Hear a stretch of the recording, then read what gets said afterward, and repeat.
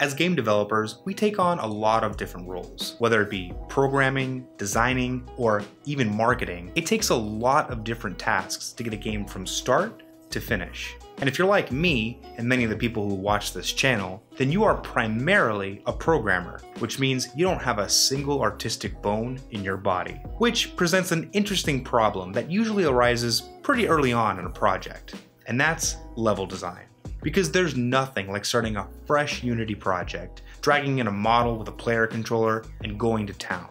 But unfortunately, that can only get you so far, because you can develop all the game mechanics in the world, but they won't be fun or easy to test in a completely empty level.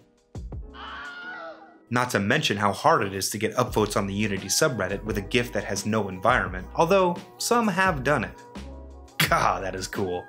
Now there are probably hundreds, maybe even thousands of environment models available on the Unity Asset Store that were designed to make prototyping a level much easier, but there are none like the one that I'm going to share with you in this video. But before we get into all that, my name is Charles and this is Infallible Code, a channel designed to make you a better game developer. If you'd like to learn more about Unity, programming, and game development, then be sure to subscribe to this channel. And don't forget to hit that bell icon.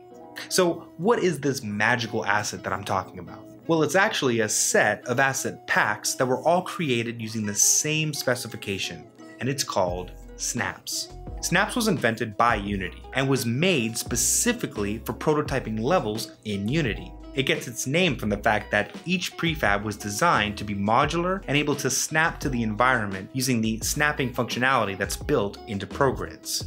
Now, don't get me wrong, there are other environment packs that can do this too, but Snaps has a couple of other features that makes it really stand out. For one, they all meet a high standard of quality. Each pack was produced by Unity, so you know that the models are optimized specifically for the engine. And I know this because each one was created inside of Unity Editor. Every prefab was modeled to real world scale using ProBuilder itself, which means that if you know your way around ProBuilder, then you can customize each model to your heart's content. Of course, I won't be doing that because I am terrible at 3D modeling.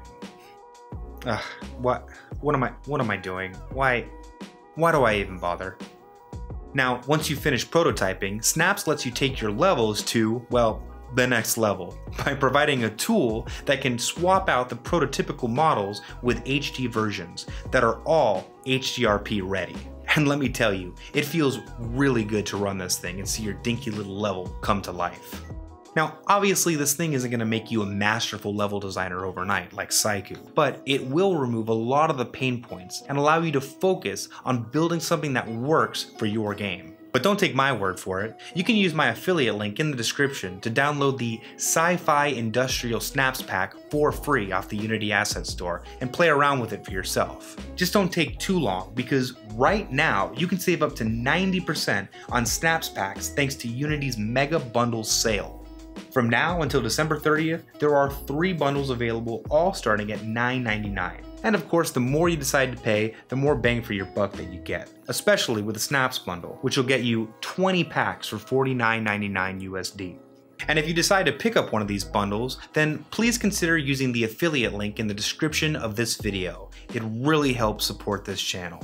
Then I want you to design the coolest snaps level you can, head on over to the official Infallible Code Discord server, and drop a GIF, image, or video on our showcase channel.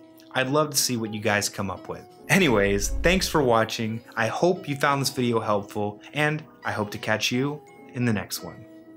Also, special shout out to my top supporters Berquist 3D, Brecht, Dark Rush Photography, NZ, R Star, Thomas, and Trond.